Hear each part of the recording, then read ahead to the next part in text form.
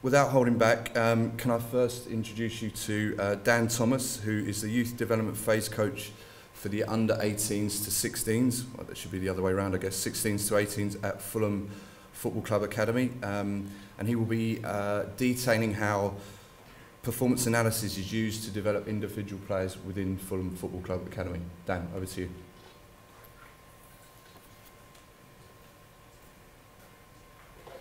Thank you. Uh, good evening, everyone. Um, so I'm going to give a little insight on how I use performance analysis as a coach. I've got my glamorous assistant with me, Bezim, who's going to be pressing a spacebar, very important role. So just got a video to, to show, and we're just going to talk through some of the stuff on the video. So my job at Fulham, um, I'm the lead coach for the under 16 team, but also assist with the under 18 team. So just going to give you an insight into some of the stuff we've done with performance analysis uh, over the course of the season. So at the start of the season, we decided as an under 18 team that we were going to play with a 4 4 2. Uh, we had four strikers in the group. We usually play 4 3 3, but we wanted to play a system that would allow us to have two strikers on the pitch at one time. So we decided we were going to play a 4 4 2 diamond.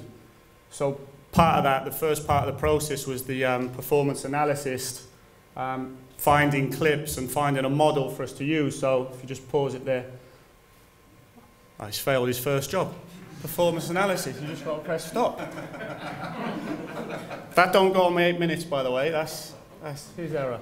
So, yeah, we, um, we looked at quite a few teams. We looked at Man United, um, we looked at Werder Bremen, we looked at Napoli. We decided that Spurs was, was the best example of a team that played a 4-4-2 diamond really, really effectively last season. So uh, our analysis put through a lot of clips. We spent a lot of hours looking at them in possession, out of possession, in transition. Um, so just some, this is just a clip here of how they played the 4-4-2 diamond. The fullbacks very high, clear diamond as you can see there. Centre forwards quite narrow.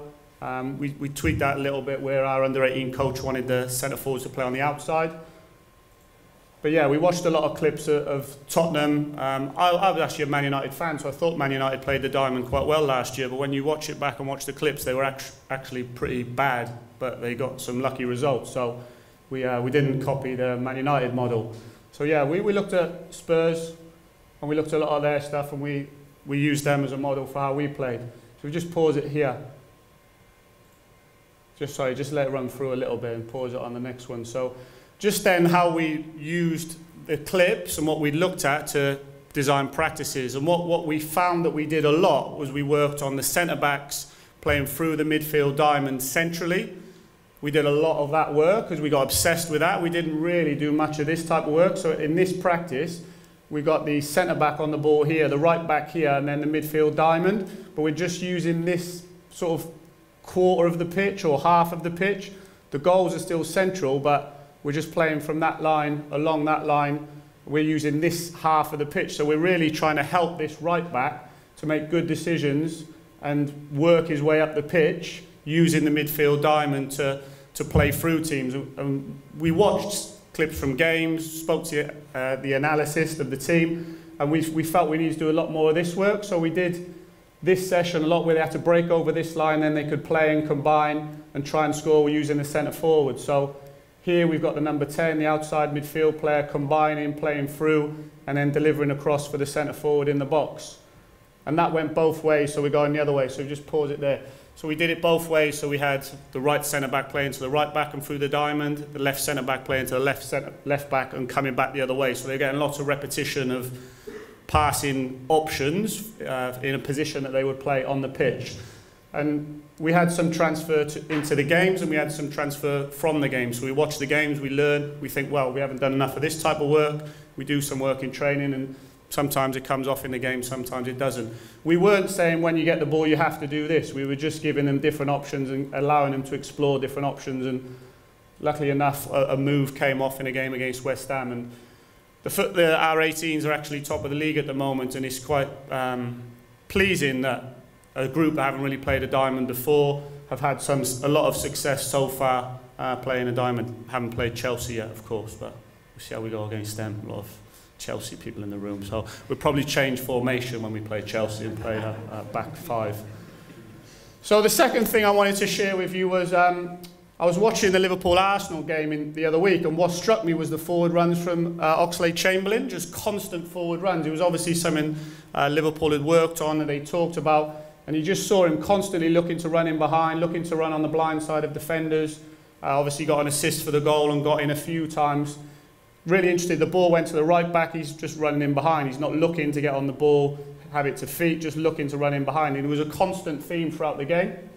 And it just made me reflect a little bit on my own coaching. How many times have I encouraged that midfield player to make that run? How many times have I worked on forward runs as a midfield player off the ball? And I've been at full. So he's done that automatically. That's a sign of a good analyst. I didn't. He's just stopped it automatically. So very good. Well done. You'll get a round of applause for that at the end. Um, so yeah, reflecting on my own coaching, my own practice. Have you put the minutes up yet? By the way, I did. Well, I didn't see it. Four minutes, thank you.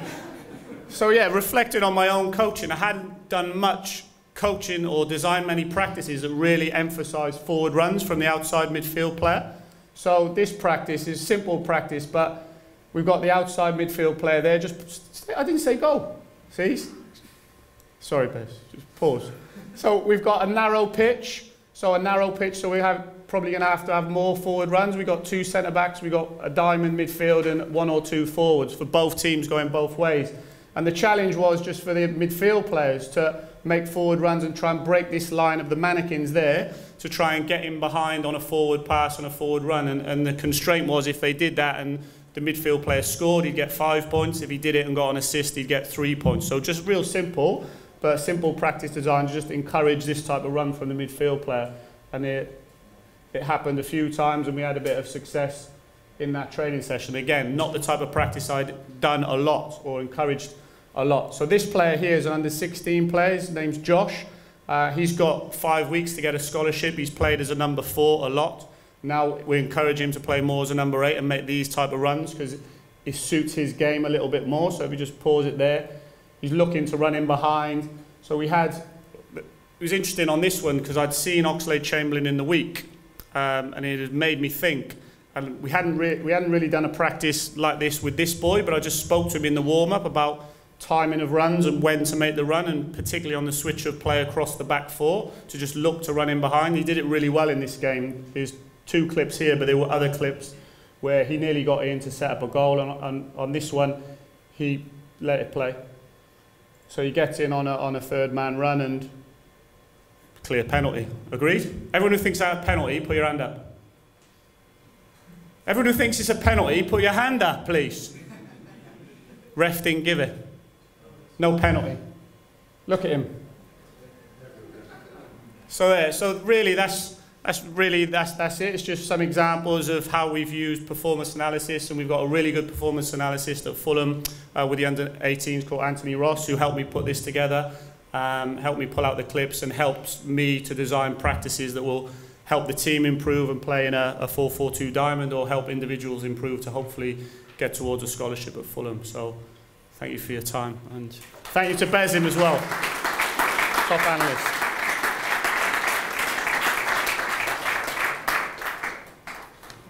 Cheers, Dan. Thanks for that. I'll let Andy Myers and Joe Cole know how you're going to set up when we play against you um, in a couple of weeks. Um, I, that was really interesting, and not so much from an individual player perspective, but also from a coach learning perspective as well, how you use it, and what was really insightful there around how you connect your learning to help the players learn to then the actual practice and the constraining of the practice as well.